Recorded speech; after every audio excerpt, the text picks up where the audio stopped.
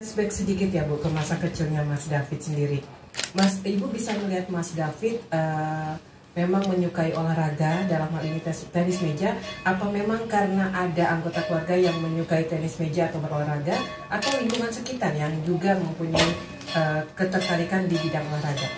Uh, sebenarnya uh, tidak dulu uh, tidak juga uh, semua olahraga gitu di keluarga kami tapi waktu ayahnya dipindahkan ke Batang Batang ke Batang Jawa Tengah mm. itu uh, kita hanya main-main aja gitu mm. main dengan kakak-kakaknya mukul-mukul tetapi uh, dengan meja yang sederhana pakai batu bata lantas pakai uh, bambu mm. lantas pukul-pukul saja terus lama kelamaan dia menyukai menyukai itu padahal tidak ada yang tenis meja kalau tenis ada ya. di dalam keluarga sempat bilang ya Mas David bilang e, saya mau jadi atlet.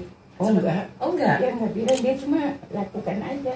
Sampai dia mengikuti dari uh, kelurahan dapat ini ikut pertandingan kelurahan terus kecamatan terus sampai dia juara provinsi itu dia itu dari oh, SD kelas dua atau kelas tiga.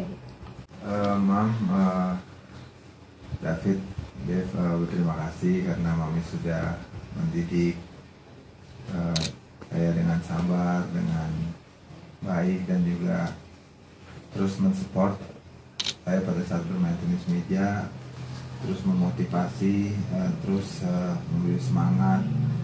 Pada saat saya kalah, gagal, terus uh, agar terus berjuang, pantang menyerah dan selalu mengandalkan Tuhan dalam setiap langkah kehidupan kita. Terima kasih, Mam.